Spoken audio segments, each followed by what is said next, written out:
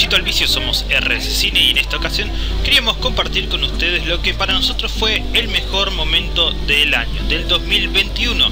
El momento en el que pudimos volver a encontrarnos con el público cara a cara en el evento más esperado por los amantes de los libros, por los que respiran libros, por los que pueden soñar literatura y es nada más y nada menos que la noche de las librerías. Por eso vamos a ver un par de clips de lo que fue ese ese evento, ese evento a público abierto, ese evento que tomó las calles y la noche de la ciudad de Buenos Aires. Fíjense que la tapa tiene un uquillo.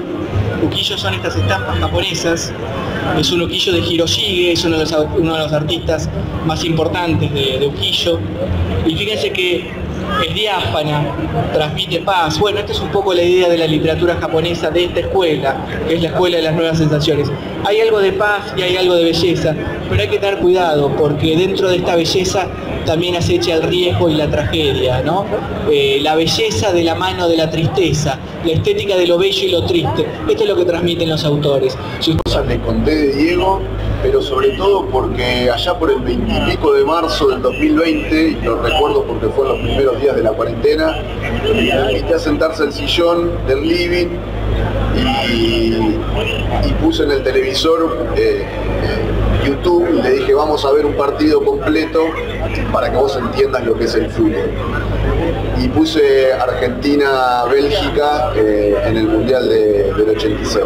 Y yo creo que eso explica por qué mi hijo termina llorando frente a la placa de un noticiero el día que se muere Diego, en noviembre del año pasado.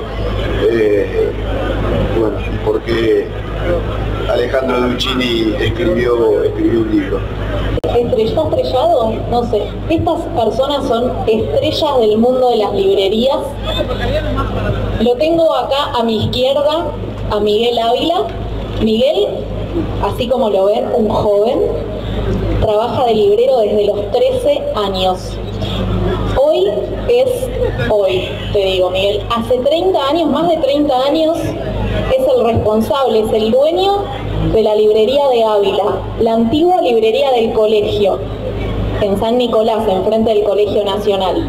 También nos acompaña Natalia Miranda. Nati es una de las dueñas, de las propietarias, de libros del Arrabal, librería del barrio de Liniers, en la periferia de la ciudad. Nati, además de ser librera, es editora tiene su diplomatura en bibliotecología social y también más de 20 años como, eh, como librera. Y por último lo tenemos a Hernán Lucas.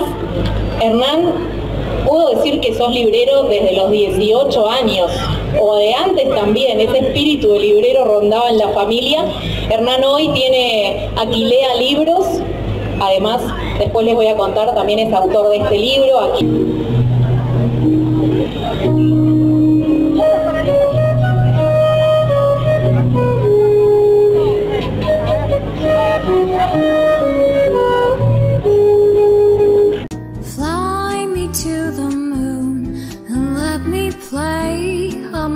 Stars. Let me see what spring is like on Jupiter